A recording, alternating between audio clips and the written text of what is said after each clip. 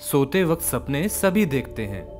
सपनों पे हमारा कोई नियंत्रण नहीं। इसलिए सपनों में कभी अच्छी चीज़ नज़र आती है तो कभी बुरी चीज़। जिसकी वजह से हम कई बार बहुत परेशान भी हो जाते हैं। और फिर कई बार ऐसा भी होता है कि हमारा किसी काम में मन भी नहीं लगता। और जब हमें सपने अच्छे आते हैं तो हमारा पूरा दिन बहुत अच्छा जाता है। हम यही उम्मीद करते हैं कि जल्द ही हमारी ज़िंदगी में कुछ सकारात्मक होगा। अगर बात करें सपने में पानी देखने की तो लोगों को आम तौर पे पानी सपने में दिखता ही है। सपने में पानी दिखना आपकी ज़िंदगी पे बहुत असर डाल सकता है। ये सब निर्भर करता है कि पानी आपने सपने में देखा तो देखा कैसे। तो आइए, आपके सपने में आने वाले पानी के राज को आज हम सुलझाते हैं। सपने में बाढ़ का पानी देखना। अगर आपको सपने में बाढ़ का पानी या बाढ़ से जुड़ी किसी भी विपदा की स्थिति दिखाई देती है, इसका ज्योतिषीय मतलब है कि आपके आने वाले निकट भविष्य में कोई बुरी खबर आपको मिलने वाली है। लेकिन ये कहना थोड़ा मुश्किल है कि वो बुरी खबर आपको कब और किस रूप में मिलेगी।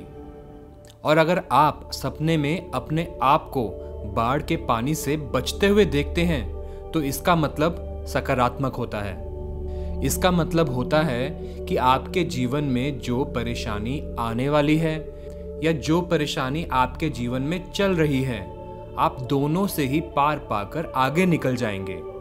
मगर याद रखिए, अगर आपके साथ भी ऐसा ही कुछ होता है तो आपको सही समय पर सही कदम उठाना बेहद ज़रूरी है। तभी यह संभव हो पाएगा कि आप परेशानी से अपने आप को बाहर निकाल पाएँ। बस ज़रूरत है इस सकारात्मक संदेश को पहचानने की और इसे अपने जीवन में उतारने की।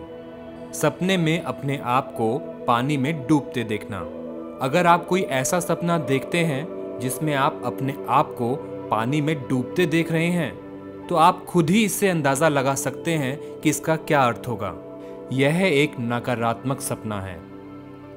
इसका अर्थ है कि आपके सामने कुछ बड़ी विपत्ति आने वाली है। या आप खुद ब खुद किसी बड़ी समस्या में फंसने वाले हैं, या आपको कठिन परिस्थितियों का सामना करना पड़ सकता है। समुद्र का पानी देखना। अगर आपको सपने में समुद्र दिखता है तो इसका मतलब है कि आपको जल्द ही अपनी गलतियों को सुधारना होगा। अन्यथा, आपकी गलतियाँ आप पे ही हावी हो जाएँगी और उसका बुरा परिणाम आपको भुगतना पड़ सकता है। अगर आपने ये बात नहीं मानी तो आपके सामने समुद्र की तरह समस्याओं का विशाल सागर सामने आ खड़ा होगा। अगर आप अपने जीवन में आने वाली समस्याओं को पहले ही समझना चाहते हैं और समझ के उनके समाधान के बारे में सोच कुछ कर्म करना चाहते हैं तो आपके लिए ज़रूरी है कि आप सपनों में देखे गई चीज़ों के अर्थ को समझें और उसको अपने जीवन से जोड़ कर देखें। तभी ये संभव हो पाएगा कि आप अपने आप को खुश रख पाएँगे, साथ ही आप अपने परिवार को भी खुश रख पाएँगे। नीचे दिए गए सब्सक्राइब के बटन को दबाकर आप हमारे चैनल को सब्सक्राइब कर सकते हैं। साथ ही वीडियो को लाइक एंड शेयर भी कर सकते हैं।